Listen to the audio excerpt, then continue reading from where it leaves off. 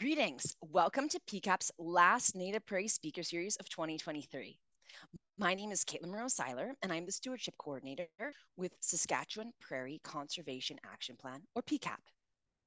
Today, Emily Putz, a Stewardship Coordinator with Nature Saskatchewan, will be speaking about monarchs and native plants. Before we begin, I'd like to state that we respectfully acknowledge that we are on the traditional territories of many Indigenous nations and communities, past and present. For millennia, they have worked to protect these landscapes and the life these areas sustain. I'd like to thank these original caretakers and acknowledge the ongoing work and presence of Indigenous peoples in Canada today. Just a few items before we get going. I'd like to note that PCAP's Native Prairie Speaker Series is a monthly presentation about anything to do with Native Prairie conservation or species at risk. And our first webinar in 2024 will be about burrowing owls in Alberta by Stefano Liccioli from Alberta Environment and Parks. And this will be on January 25th. And as usual, you can register on the PCAP website. As we're taking a little break over the holiday season, if you miss our webinars, be sure to check out the PCAP YouTube channel where most of our presentations have been recorded and are available to watch at your convenience. My personal favorite of 2023 was one about snowy owls, so be sure to check that one out. A reminder to all of our listeners out there, as we have over 100 registrants, I think we're almost at 200 registrants, um, you will be muted for the duration of the webinar, but if you have any questions during the presentation, just type it into the Q&A section of the webinar dashboard anytime. And feel free to upvote other people's questions if you have the same one, and I'll try my best at moderating at the end.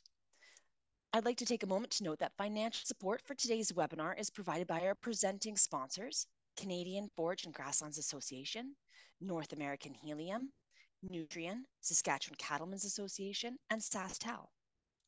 Now, a bit about today's presenter. Emily Putz first started working in the field of conser conservation biology in 2014 and instantly knew it was the career path for her. She graduated from the University of Regina in 2015 with a degree in biology uh, with a concentration in ecology and environmental biology. Her career has been species at risk focus, and in 2016, she was hired as a habitat stewardship coordinator at Nature Saskatchewan, where she spent time coordinating all five of their species at risk programs. She currently coordinates Shrubs for Shrikes, Plovers on Shore, and Stewards of Saskatchewan banner program. While not in the field scoping out species at risk, she and her partner live on a property by Silton, Saskatchewan, with their dog, cats, horses, goose, and ducks. So, with that, I will pass it over to Emily. I'll just share my screen.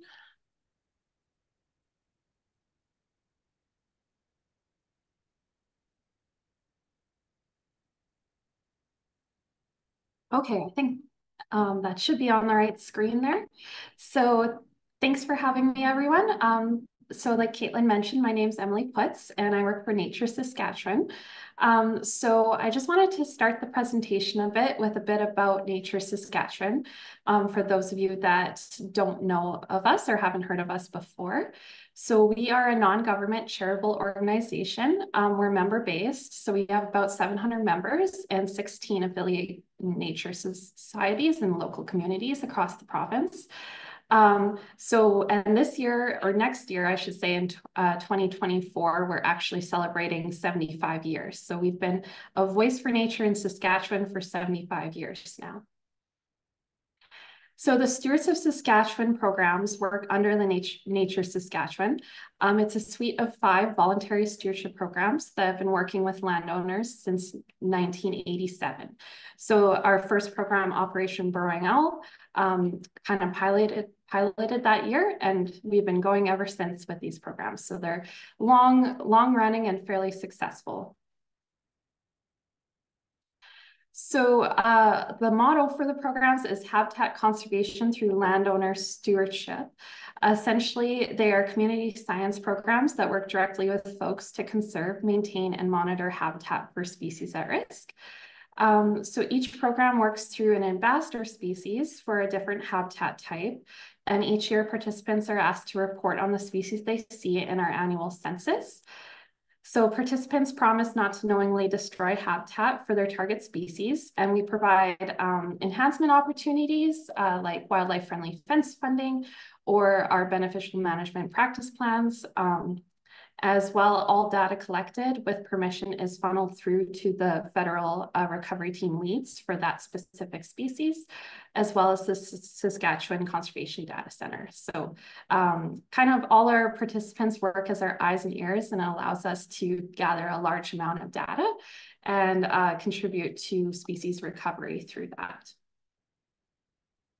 So what does this have to do with monarchs? Um, so monarchs are part of our Stewards of Saskatchewan banner program. And this year specifically, we kind of targeted them as a highlight species within that program and kind of rolled out some new things for them. Um, so today I kind of just wanted to talk um, a bit about monarchs themselves and our new programming um, that we have for them. So the monarch butterfly. So monarchs are actually found across the globe in Australia, New Zealand, Pacific Islands, North and South America. But our North American monarchs are really unique in that they're the only ones that do that multi-generational mass migration throughout the range. Um, they're currently listed in Canada um, as special concern, but COSEWIC has recommended them to be uplisted as endangered. And that'll likely be in the next year or so. So how to ID a monarch? Um, so there's lots of orange and black butterflies out there on the prairies. Um, so how do you know if you're looking at a monarch? So monarchs have are fairly large butterflies. Their wingspan is 8 to 12 centimeters long. Um, they have bright orange wings with black veining. The females have darker veining, thicker veining than the males. And males have two little uh, spots on their hind wings that are scent glands, and they're fairly evident when the wings are open and when the wings are closed. So if you want to get really nerdy and tell your males and females apart, that's how you do it. Uh, the wing margins have those white spots on them, and there's usually two rows of those white spots. And the spots are like vaguely oval shaped. And the black body has white spotting and banding on it. So I mentioned that there's lots of black and orange butterflies on the prairie. So um, you, you're often playing kind of the look-alike game, and none are better than mimicking monarchs than the viceroy. So many different butterfly species take advantage of the monarch's toxic qualities by mimicking their coloration. Um, and the viceroys do this best. Their name literally means in place of the king or monarchs.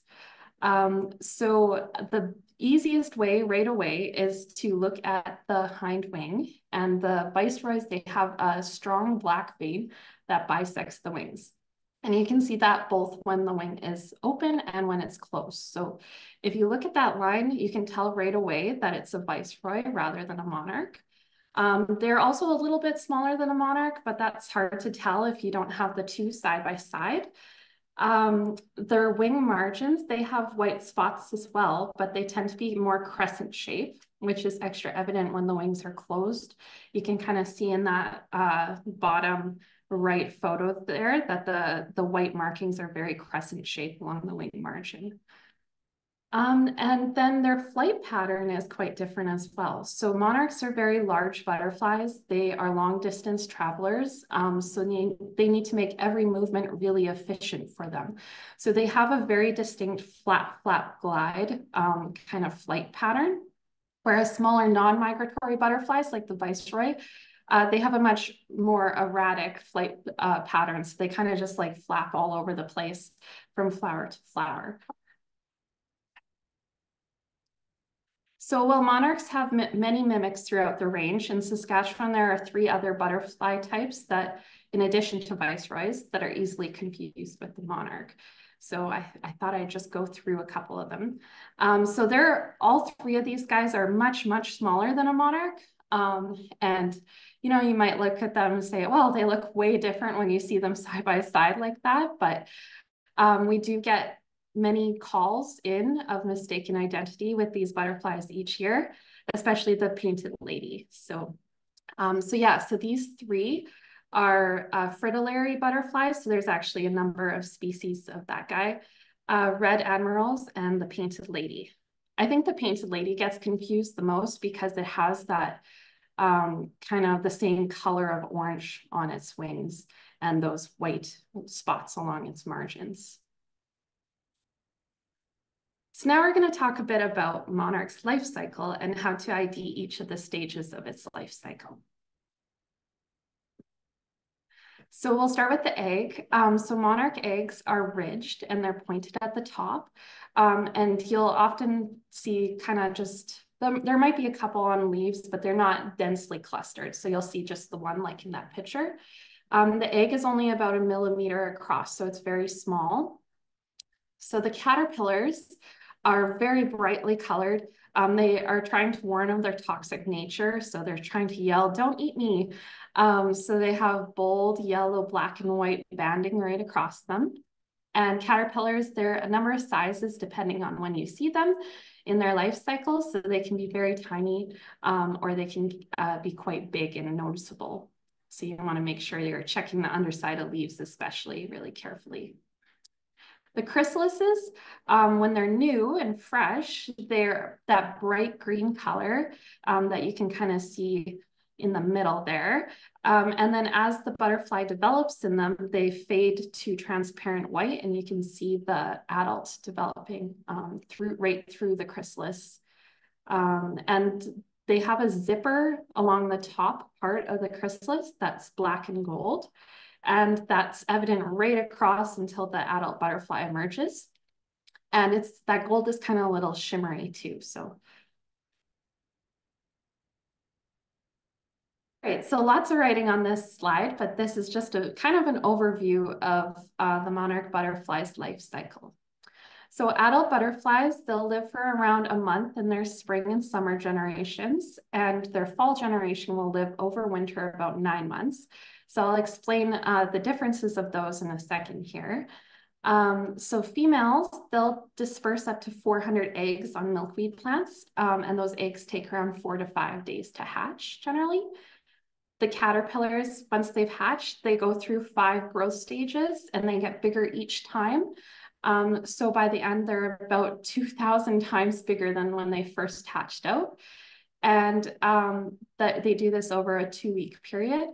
They can form a chrysalis in just a few hours and they'll stay in it for about two weeks before emerging as an adult and starting the whole life cycle again.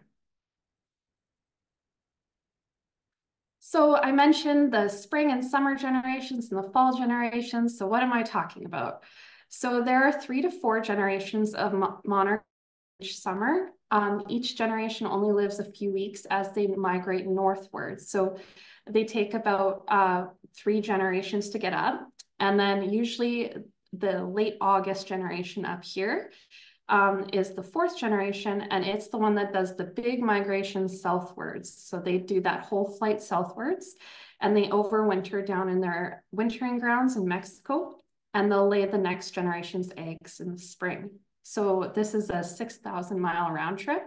And Saskatchewan's really special for this actually, because we are at the north part of their range. So our monarchs that stay here um, and the ones that are born here in the summer are the, those special ones that will live a really long time and do the whole migration south.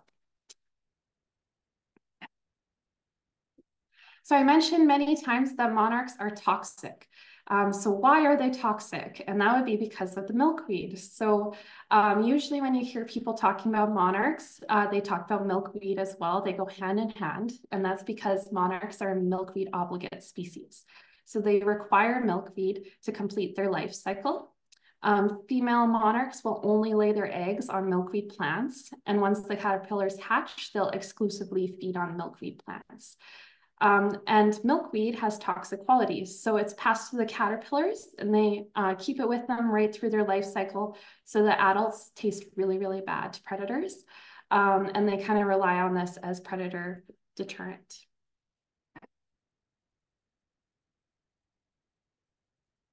So in Saskatchewan, we have five species of milkweed that are native to here.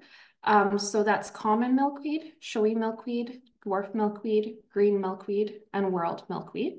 And I'm just going to go through each of those briefly. So uh, we try and raise awareness on what those native milkweeds look like so that people can ID them if they have them out on their lands. So common milkweed, I'll go through first. So despite its name, it's actually very rare uh, native um, growing wild in Saskatchewan. Um, however, it is one of the most common ones that you can find in a greenhouse variety. So there are hort horticultural varieties. Um, so if you do have milkweed in your garden, it might be common milkweed, but to find it growing out into, in the wild in Saskatchewan, it's very rare. Um, it's got big globes of pink flowers uh, and very broad leaves. So monarch butterflies like it, especially because those broad leaves have a lot of surface area uh, for their eggs and for the caterpillars to feed on. Showy milkweed is likely the most common one that we have called in when people are um, telling us about their milkweed. Um, it grows in lots of ditches in Saskatchewan, especially in kind of the Swift Current area, um, but it'll go right across southern Saskatchewan. Um, it also has big globes of pink flowers. Um, however, they're, they tend to be a little more whitish pink and the individual flowers themselves have elongated points on them. So they're a little bit, bit more star shaped. And it has broad leaves as well. So um, monarchs like it quite a bit as well. Dwarf milkweed, this is one of our most common um, wild varieties as well. Um, so it's also called oval leaved or low milkweed. It's quite low growing to the ground compared to showy or common. Um, and the flower heads are white and not as dense as showy um, or common milkweed. Um, it also has fairly broad leaves, so it is another favorite of monarchs. Um, and you can find this one in garden centers, uh, especially your native nursery garden centers. Green milkweed, um, that one's also common in Saskatchewan, but it prefers sandy soils. And like its name suggests, it has, uh, its flowers are kind of closed looking and, and greenish tinged. And lastly, whorled milkweed is very rare in Saskatchewan. Um, it has white flowers as well, like the dwarf milkweed, but its leaves are very linear, so they're very grass-like. Um, and it's unknown if monarchs really can use this one as much as the others. So this slide is just to show what milkweed looks like throughout the summer in different parts of its life cycles. Um, it can look quite different depending on what time of the year you're looking at it. Uh, so if you're out there trying to figure out if you have milkweed, um, you're, you'll want to know what time you're looking for it in. So um, uh, most plants have those big globes of flowers, but then when the pods develop, the pods can be either smooth or kind of spiky depending on the species you're looking at. And the seeds, once those pods pop open, are very fluffy. So um, you might be saying, but I have other milkweed in my garden and it was none of those other species. So I thought I'd just go through some other species of milkweed uh, with you guys. So swamp milkweed is likely the most common I hear about.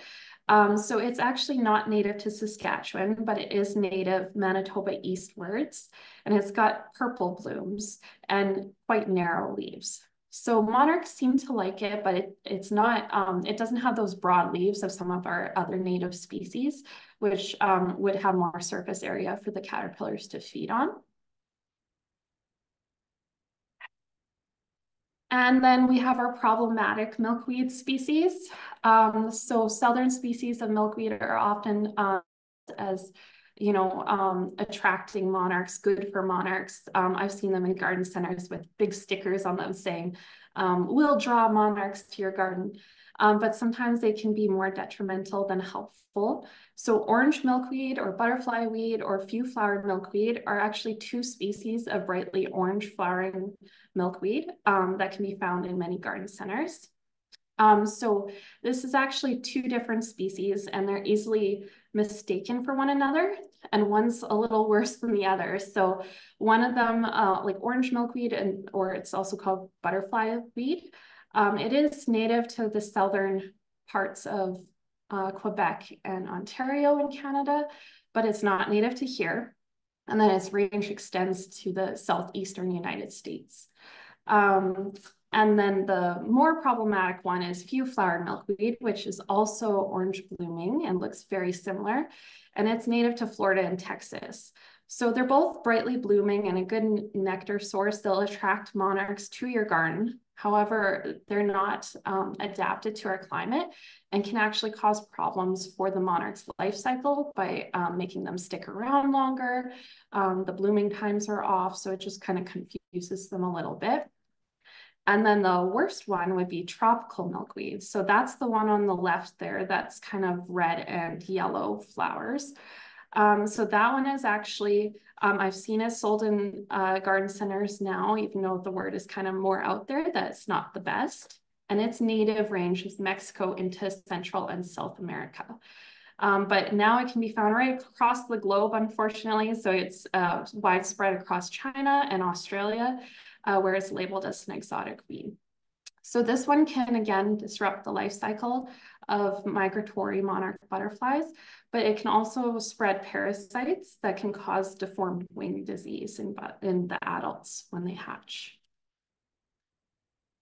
Okay, so those are milkweed, but what about all the other species of flowers? So the adult monarchs, um, they actually require a number of nectaring species as well, because the adults don't feed exclusively on milkweed. They get their energy source from a wide variety of plants around them. Um, and the best ones for that energy source are, of course, our native plants. So I just kind of wanted to go through a few and their importance to monarchs. Um, so native plants, they evolved specifically um, to our climate and to our native pollinators. So they're the best options generally. So this is just a few of them. And I've kind of split them this slide into our early and mid-season native species and the next slide into the late blooming species. And that's because it's important when you're creating monarch habitat to have both.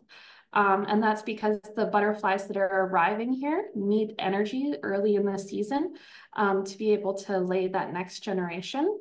And then the late generation that hatches here um, when they're adults, they're actually needing a lot of energy, a lot of nectar um, to make that giant flight southward. So they're trying to store up as much energy as they can before they leave um, for the summer and make that big flight south.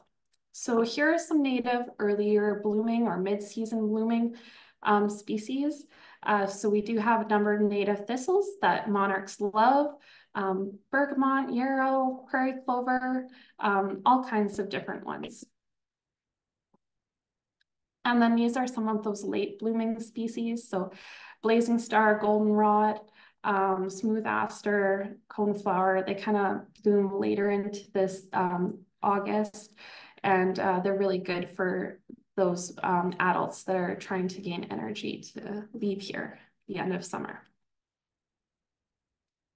And then, of course, there are other species out there that monarchs will use that are maybe not native to our variety.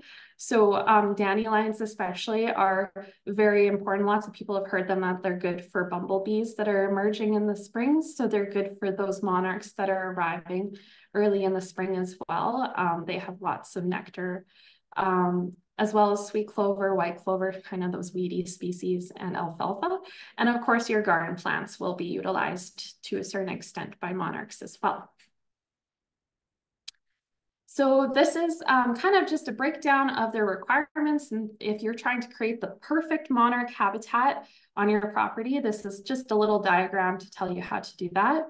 Um, so this is actually part of our beneficial management practice plan that we'll hand out to participants that have monarch butterflies in our program. Um, so you want to have milkweed habitat and nectaring plants that are included that include early and late blooming nectaring plants.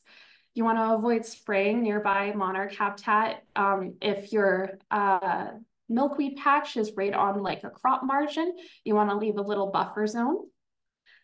Um, mowing and controlled burns may be beneficial to the milkweed plants themselves because they actually grow back more vigorously after um, being kind of chopped down. Um, but you want to avoid periods where the eggs and caterpillars and chrysalises are still on those plants because of course they cannot move like the adults can. So if you're mowing the milkweed and the caterpillars are on them, good chance are that that generation will be lost. Um, and then in the east of their range, especially, they use specific tree types for roosting and staging habitat. Um, staging habitat is where they kind of like all gather together before they fly down um, south as one kind of unit. Um, it's unknown actually to what extent they do this on the prairies. We don't have as many trees on the prairies, uh, but they will still use trees as cover in windy uh, conditions. Okay, so now that we've learned all about monarchs, I figured I'd tell you a little bit about what Nature Saskatchewan is doing um, this past summer uh, for those monarchs and how we expanded our community science programming um, a little further in regards to that species. So piloted this summer, uh, we piloted our milkweed monitoring um, project. So this project is open to participants of the Stewards of Saskatchewan Banner Program if they're enrolled for monarchs. And it's basically um, intended as extended monitoring. So if they're already on the lookout for monarchs, we're asking them to kind of um, answer some questions about their milkweed patches themselves. And the goal is to fill some knowledge gaps on the prairies because there's been a lot of research eastward in Ontario, uh, focused on the eastern extent of the monarchs in Canada, but um, the prairies have a few knowledge gaps on what our monarchs do over the summer and what kind of habitat they prefer the best. So this is what the form looks like. Um, so right now we have it on a Google form survey. Um, we plan to port it in the future to the Survey 123 app. Um, so people can just have that app right on their phone and upload pictures through there. Right now, you can you can do this survey if you have any email address, but you can only submit photos if you have a Gmail account. So um, yeah, in the future, we'd like it to be more accessible to everybody.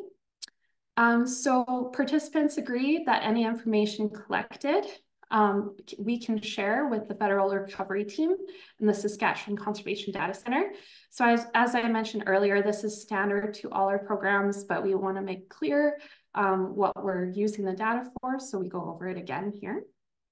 And basically we ask all kinds of questions on the patch of milkweed itself that they choose to monitor. So um, they can monitor more than one patch if they wish, if they have a bunch on their, on their land, but we ask them to answer specific questions about the same patch over and over again throughout the summer so we can see how that patch itself is doing. Um, so I just wanted to go through a few examples of what we ask.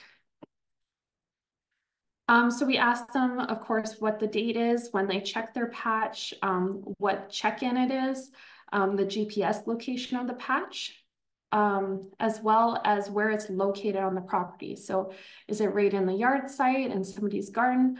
Um, is it on pasture or rangeland, on crop margin, in the ditch, along a road or a trail on their property? Um, anything like that. Uh, it's just important that we know what kind of habitat we're looking at.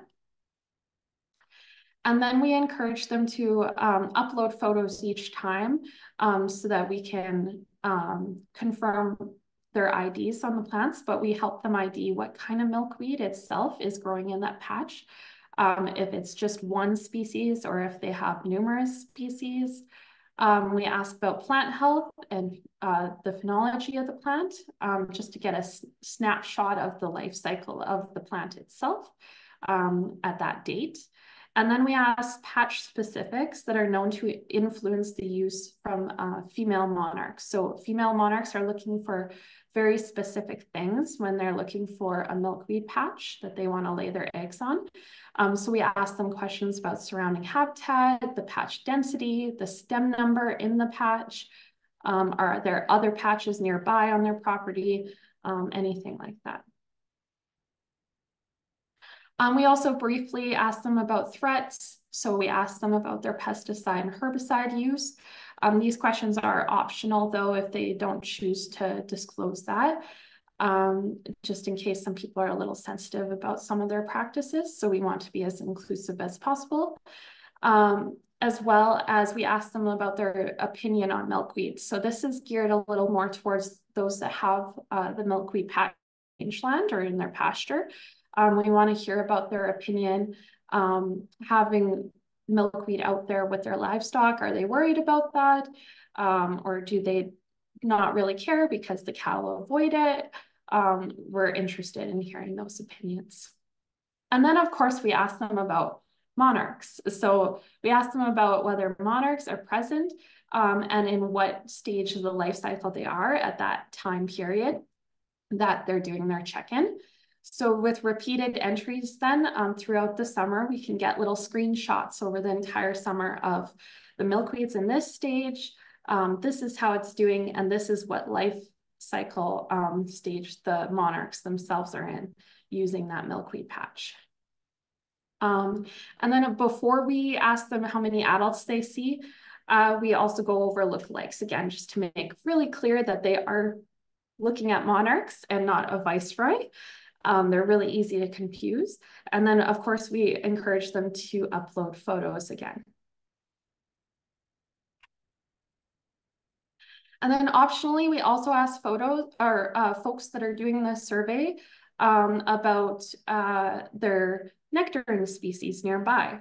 So um, this is a little more you know, intense. They don't have to do that, um, but we are interested in knowing what nectaring species uh, those monarchs might be using.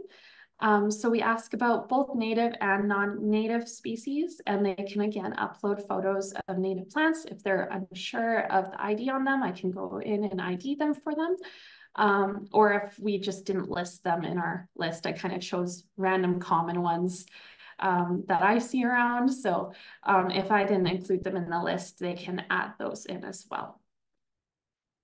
And of course, we thank them for their time and ask them if they have any other comments. So um, this year, as I mentioned, it was just a pilot project. Um, so we just kind of wanted to try it out with a few participants uh, to see if you know they they liked doing it over the summer, things we could change. Was it easy to do? Um, did they kind of lose interest after like the first entry, or whether they kept with it all summer? Um, so we had eight participants that tested it for us over the summer breeding season. Uh, two out of the eight check their patches roughly once a month um, from July to August. And they actually both responded that they checked, uh, they were really enthusiastic and they checked their patch way more than that. Um, but they they just filled out the form in completion three times because uh, we just ask for once a month. So um, uh, three out of the eight checked their patch twice in July and August. Um, and the rest of them just checked their patch once, uh, but we did have some monarch health issues. So um, there was Black Death in uh, one of the people's um, monarchs. So that's a bacterial infection and it kind of liquefies all the the caterpillars and their chrysalises. So they didn't have an, another generation after that, sadly. Um, and then we did have some cases of adult wing deform deformity also spotted throughout the um, breeding season that our participants mentioned. Um, usually it was showy dwarf and the garden variety of common milkweed that people had in their patches. Um, everybody responded that their patches were getting larger. So there was more, more and more stems there growing, which is unsurprising because milkweed is very good at growing its boundaries. Um, and nine out of the 15 check-ins had monarchs detected as well on their milkweed plants. So altogether, we got 27 reports of caterpillars, 13 chrysalises, and nine adults that were observed um, through our pilot project. So we are hoping to expand this um, next summer and in future years. Um, so it'll be open to anybody that wants to participate now that we've kind of tested it out a little bit. Um, so they just have to be uh, participants in our Stewards Saskatchewan Banner program, and then um, the form will be open to them. So I just figured I'd go through some of my favorite parts of this project. Um, so my absolute favorite part was all the photos that they sent back. So seeing everyone get involved. Um, one participant actually got their neighbors to come help them check the patch. Um, it was kind of on the edge of um, like a community um, uh, lot. So all their neighbors uh, came out and the knowledge was spread around the community. Um, and then seeing how every patches are, are different. Um, so one participant, every time they uploaded a photo, um, they took a picture of their dog as well. So I really liked seeing him throughout the summer in all the photos. And then uh, we had a participant that had uh, their milkweed growing in their garden boxes and they were just covered in monarchs. So uh, those garden environments are useful habitat as well. And then um, just how the patches change each check-in. So we did have a participant that their patches were right on the edge of their crop field. Um, and she was really diligent about checking them um, each time they were out there. So it was really cool to see how that patch changed throughout the season. Okay, so this slide has a lot of text, but it's just basically a summary of what you can do to help. So there's many beneficial and non-beneficial things, um, and there's a lot of rumors out there about what you can do to help monarchs. So um, this is kind of just a recap of some of the things I talked about already. So um, beneficial things, you can plant native milkweed. Um, so showy dwarf or common milkweed are good options and are often found in greenhouses um, or native nurseries. Um, you can plant a pollinator garden, make sure that you have those early and late blooming nectaring species to um, help the monarchs right across the summer. Uh, avoid using herbicide or pesticide near habitat. And of course, report all your sightings um, in so that we can help track where monarchs are in the province and what kind of habitat they're using. Some of the non-beneficial things, um, so again, uh, you want to avoid non-native milkweeds. So don't plant that southern or tropical milkweed. It might seem helpful, but it can affect life cycle and spread harmful diseases. And then a big one that I haven't talked about yet is buying butterfly hatching kits or releasing captive reared butterflies. So I still actually, um, just this summer, I got at least five emails um, from people uh, wanting to know where they could buy monarch butterflies um, to release. And this was actually pushed for a big push a few years ago. Everybody was like, you can, you know, help the wild population by releasing these individuals um, in your area. Um, unfortunately, the butterflies that are captive reared don't often have the skills to survive and migrate successfully. Um, they may breed at the wrong time after they're released or hatch unsuccessful offspring that are just not timed to our wild population's life cycle. Um, they're also, because they're reared in such uh, close proximity um, and density, uh, they can be carriers of diseases and parasites that they can then spread to the wild population when they interbreed um, or just, you know, are in contact with wild individuals. And captive reared monarchs, um, they might have different genetics than the regional populations, and they might uh, mix unfavorable genes into the population when they interbreed. So um, yeah, it was a, a, big push. People were saying it was good, but um, new research was just saying maybe you should support the wild ones that are there rather than uh, captive rearing monarchs. And of course, um, if you have monarchs on your property, um, you can help by joining the Saskatchewan Banner program. Um, so there are some perks to being in the program if you have monarchs. Uh, you get a big fancy gate sign that we personalize for you. Um, we do have our beneficial management practice plan that we hand out to participants with monarchs, and it kind of goes through basically everything I um, talked about today. Um, we also uh, give out um, nectaring species butterfly mix that's from one of our uh, native um, seed nurseries in the province. And of course, we also do a milkweed giveaway in the spring.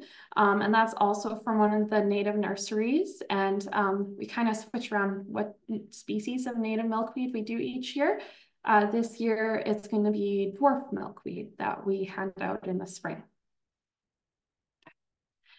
Um, if you don't have monarchs yourselves, but if you see them um, or any other species at risk, you can give a hoot and call our hoot line. Um, so we have a toll-free hotline that we call the hoot line. Um, so it's 1-800-667-HOOT or 4668. And every call in that um, we get um, helps to conserve habitat and determine abundance and distributions um, of that species across Saskatchewan. Um, we never share private private information, so we'll never share your name, um, but all the that species sighting um, information is shared with the Conservation Data Center, so it can go on to inform uh, recovery actions. And with that, I think I went a little fast, but I just wanted to say thank you to our funders And are there any questions? First of all, thank you. That was a fabulous presentation. I had no idea there were so many different types of milkweed. So that's really interesting to know. that was a very thorough presentation. Thank you. And of course, your slides are gorgeous. I already told you this, but they're really gorgeous. thank you. um, we have quite a few questions already. It's great. So many people are engaged. So we'll, um, it looks like we've got lots of time. So we'll try to answer as many as we can. Um, the first one, which has been upvoted several times um, from Haley does Nature Saskatchewan pull data from iNaturalist to assist in narrowing the knowledge gap? Um, or do you work with the SKCDC or have a data sharing agreement in terms of monarchs and milkweeds? Yeah, so we we don't pull it ourselves, but my understanding is it is also funneled through to the Conservation Data Center, which is where all our information goes as well. So um, they're kind of like the big um, center of data for these species. So they house all that information and then um, people that can use it can pull from from them. Um, so that's where all our data goes as well. So um, yeah, we're not using it ourselves, but um, yeah, it is used. that's great. Um, and have you ever had any experience with iNaturalist? Um, myself, yeah, I use it. Yes. And what about with Nature Saskatchewan? Um, are you able to get kind of the your members involved with it, or?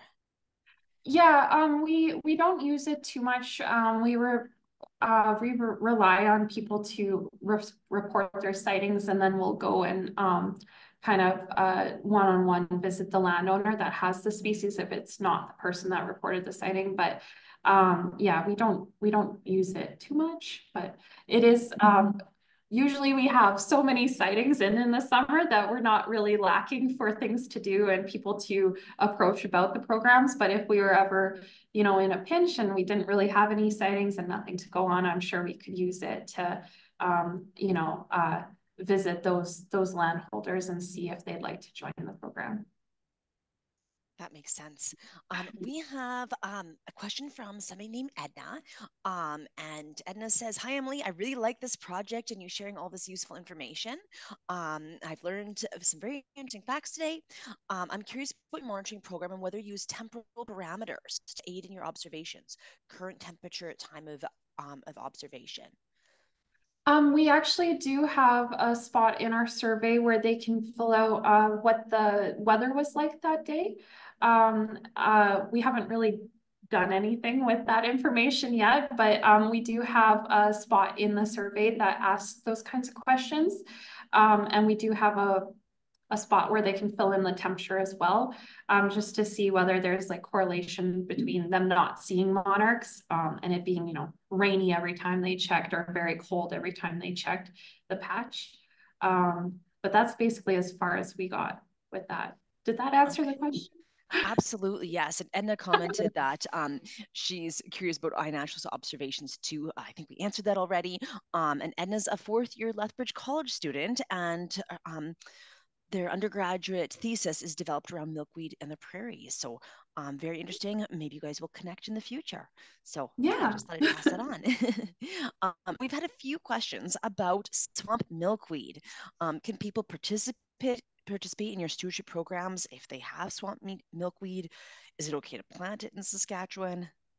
Yeah, um, so there's lots of opinions on this. I guess my opinion is, oh, first of all, off, um, you can always participate in our programs if you have monarchs. Um, so regardless of what kind of milkweed you have, um, you're if you have monarchs or have have monarchs, you're welcome to um, to our program. Um, you can also do the the um, survey part or milkweed monitoring, if you do have swamp milkweed, it is one of the species that I list on the survey. Um, we're trying to promote native milkweed over it, but it is native to the east of us and lots of people have it here. So it is kind of like a more gray species, especially in the eastern part of the province um, where it's really really common for people to buy it. Um, so I think it's still pretty beneficial for the monarchs. Um, it does have thinner leaves than some of the other broadleaf species. So um, there might not be as much uh, area for those caterpillars to munch on, but um, I think it's okay generally. Um, I have some in my garden, so. well, if you do it, then it's great. um, so we actually have lots of people who are interested in, in, where can they get milkweed or wildflower seeds. Um, quite a few people have commented about that. Do you have any tips? Yeah, for sure. Um, so we hand out our butterfly mix. So you, if you're interested, you can contact me and I can send you a few packs. Um, and that has kind of a mix of those native uh, nectaring species that I mentioned. Um, but we source our seed actually from uh, Blazing Star Seed Company up in Saskatoon. So uh, you can always contact them. Um, they're a great seed provider um, and they specialize in native species. Um, also, uh, our milkweed this year, our milkweed seedlings are from um, Prairie Originals. So it's just in Manitoba. Um, so it's a native nursery as well. Um, and we get seed from them and then Shand Greenhouse partners with us to uh, grow them over the winter so that we have seedlings in the spring. Um, you just didn't generally want to source your native plants from as close as possible. So there's like some big native seed um, providers in the States, you don't really want to be ordering or ordering them um, seed from them because uh, those native plants are adapted to southern climates and they won't do as well here. And then you're mixing genetics with our wild ones. So you kind of just want to source as close to you as possible. So Saskatoon or um, Manitoba, Prairie Originals. There's also, I think it's called Wild About Wildflowers, which is just over the border in Alberta, if you're closer to Alberta. Um, we've also gotten milkweed seeds from them in the past uh, for our milkweed seedlings. So. Okay, awesome. So do people have to be part of your program to be able to get wildflower seeds from you? No, no. Yeah, so, you can just contact me and I'll send them. okay. And I'll just send um, a quick chat to everybody. So your email is outreach at naturesask.ca. Yes. Okay. Yeah. Awesome. I should have put that on the slide actually. that's okay. I'll send it right now. Um, so that way people can reach out to you. And um, I do want to put a pitch too for um, Red Grills' company, um, Blazing Wildflower Seeds. I know PCAP's done a lot of um, business with them and they've um, like donated wildflower seeds to, to us just for probably 10 years off the top of my head. Um, and yeah, we've often yeah. given away some of their seeds at um, our Native Prairie Appreciation Week, um, at our farmers markets booths. We give them away at Agribition. Um, kind of whenever we have an in-person speaker series or the Restoration Reclamation Workshop, um, we always try to give away some wildflower seeds. Mm-hmm. Do you have mm-hmm. any tips for how to grow it? Yeah, so um, each species is a bit different, but um, I would recommend uh, fall sowing um, because then they have the freeze thaw cycle. Um, but uh, sometimes when you plant the seeds, nothing will happen for a few years because they need a few years of that freeze thaw. So I always tell people when I give our seed packets out, um, you know, don't get discouraged if you plant them and nothing comes up that first year or they come up but aren't blooming. Um, it might take another year and then you'll have a huge garden of uh, native plants. So that's what happened when um, I get like the leftover seed packs sometimes. So uh, I've planted quite a few and um, that's what happened with me. Uh, nothing the first year and then the second year I had more more plants than I knew what to do with. So wow, that's fabulous. Um, what about wild harvesting? Have you ever done that or do you know anyone who has? Um, yeah, uh, you'd want the permission from whoever's mm-hmm. property you're on. And then um, there is a rule of thumb um, that you only take a certain percentage of whatever's there uh, because you don't want to deplete that seed um, stock from the wild population, of course. Um, so yeah, you'd want to be careful with that. But um, yeah, that's a good option if you knew if you knew the person or if you have it on your your pasture in your pasture, lots of uh, forbs or wildflowers, and you wanted to collect some of that seed and plant it in your yard. Um, I could, I should also mention, I have um, heard that you can force that like freeze thaw germination by sticking the seeds in your fridge. So I have heard of people that do that too. Yeah. Um, I've personally never had good luck with wildflower seeds. I can grow anything else but wildflowers. um, but I know PCAP has on our YouTube channel um, from the Native Prairie Restoration Reclamation Workshop, um, Gail Fenner did a really cool um, like a webinar about the they call it stratification where you have to sort Mhm. of simulates that freeze thaw method to be able to germinate to wildflower seeds. And um, I think there's a few on there too about um, wild harvesting as well. So if anyone's interested in more about that, you can check out our YouTube channel. So yeah, um, and back to the questions. uh, Teresa is wondering what um, if you know of any wildflower seeds in Alberta, any companies there? Um, yeah, so that Wild About Wildflowers, I'm pretty sure that's what they're called. Um, they're in Alberta and we have gotten seed for our uh, milkweed. Last year we bought seed um, uh, uh, any of our closer providers didn't have any last year. It wasn't apparently a very good year for milkweed seeds. So uh, we did order our seed last year um, uh, from them and it grew and it was great. We got lots of milkweed seedlings from them. So um, I'm pretty sure they're in southern Alberta, I think. Okay. And like obviously you're with Nature Saskatchewan, but does Nature Alberta have a program like this or do they do something completely different? You know, I to tell you the truth, I'm not sure there is a Nature Alberta. um, maybe, I'm I'm not sure. Um, so I, I'm not sure about their programming if they do. Sorry. Yeah, no problem. And we did have somebody write in here that the Edmonton Native Plant Society might also have some milkweed seeds. So um, for our attendees from Alberta, be sure to check that out. Um, that sounds like a great resource. And I think they also did a webinar for us a few years ago, the Edmonton Native Plant Society. Yeah. Uh, Native um, plant societies are also a great resource, and there's there's a bunch of them right across the prairies. So absolutely.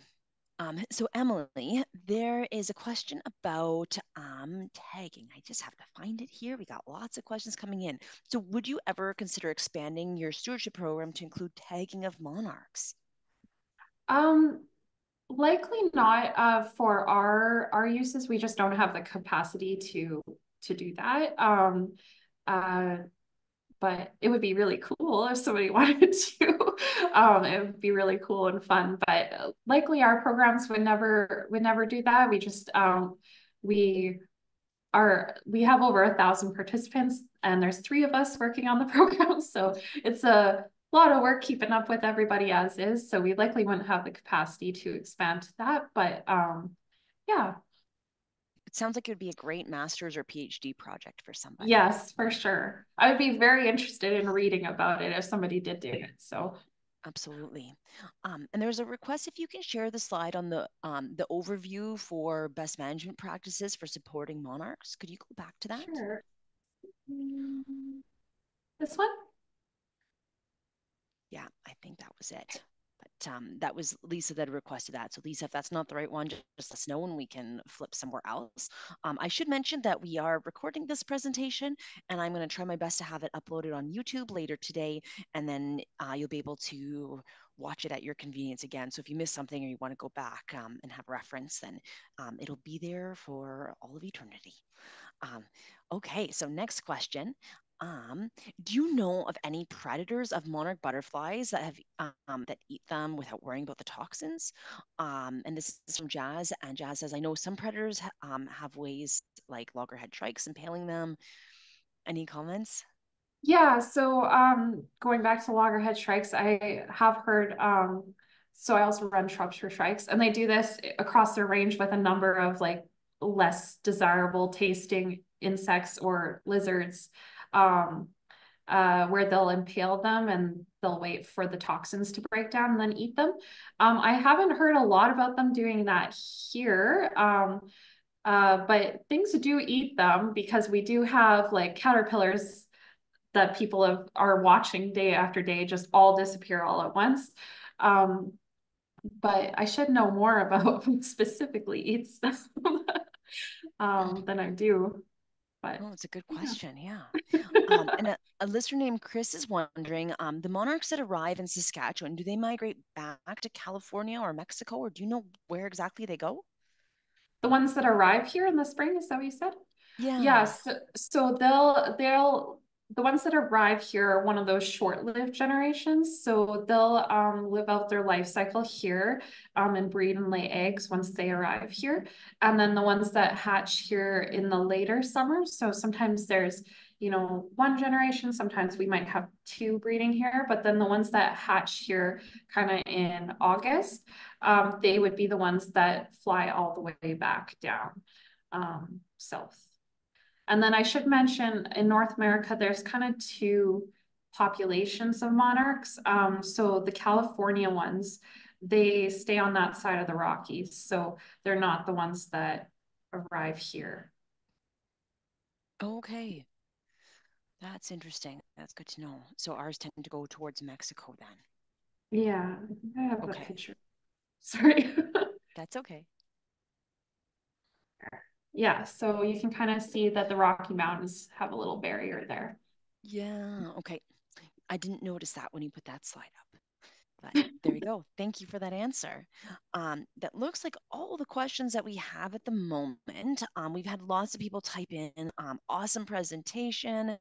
Um, thank you so much. I've been learning a lot. Great information. Excellent presentation. And thank you. So um, I just want to reiterate all of these fabulous comments from people. Um, thank you again for, for sharing your enthusiasm with us and your beautiful slides. So thank you, Emily.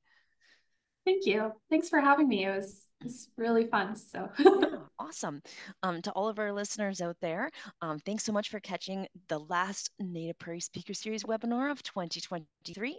Uh, be sure to check out our first one about burrowing owls in on January 25th, um, and that'll be you can just register on the PCAP YouTube channel, or sorry, PCAP website for that.